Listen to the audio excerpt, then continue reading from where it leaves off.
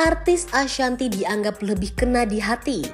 Alasan Azriel Hermansyah kurang nyaman curhat ke Chris Dayanti disorot. Menurut Azriel Hermansyah, Ashanti lebih bisa membuatnya nyaman daripada Chris Dayanti. Itu karena kehadiran Ashanti saat Azriel Hermansyah tengah terpuruk imbas perceraian orang tuanya, Anang Hermansyah dan juga Chris Dayanti. Tak cuma jadi teman curhat, ternyata Ashanti bisa mendengar segala keluh kesah Azriel Hermansyah. Sehingga Azriel Hermansyah sampai sekarang ini selalu cerita masalah apa pun kepada Ashanti. Meski begitu, Azriel Hermansyah mengaku hubungannya dengan sang ibu kandung Kristayanti tetaplah baik. Diketahui Azra Harmansyah bicara soal isi hatinya terkait Ashanti dan Chris Dayanti di podcast Denny Sumargo. Tak bisa dipungkiri, Azra Harmansyah mengaku lebih banyak mendapat perhatian dari Ashanti daripada Chris Dayanti. Azriel Hermansyah bahkan menyebut Ashantila sebagai penyemangat dalam hidupnya yang membuatnya ramai di Cibir.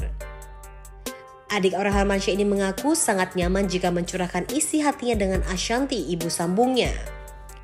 Istri anak Hermansyah tersebut yang selalu menemani Azriel saat sedih. Tak hanya di zaman curhat, Ibu Arsi itu bisa mendengarkan segala keluh kesahnya. Ashanti adalah orang yang menyembuhkan Azriel dari trauma perceraian Anang dan juga Krisdayanti.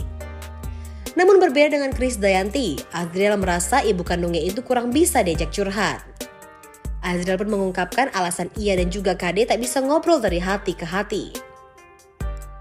Pada kesempatan itu Azriel menegaskan jika hubungannya kini dengan ibu kandungnya Krisdayanti terjalin dengan baik. Azriel pun mengatakan kalau Mimi tidak dari hati ke hati. Mimi lebih bahas masa depan. Sebelumnya, Azriel Hamansyah sempat curi perhatian dan dicibir usai sebut Ashanti sebagai penyemangat hidupnya. Hal ini lantaran Azriel Hermansyah dinilai melupakan Krisdayanti sebagai ibu kandungnya dan lebih memilih Ashanti yang ibu sambung. Dan ternyata Azril Hermansyah memiliki alasan sendiri. Menganggap Ashantilah yang sangat menyelamatkan hidupnya usai terpuruk karena perceraian orang tuanya.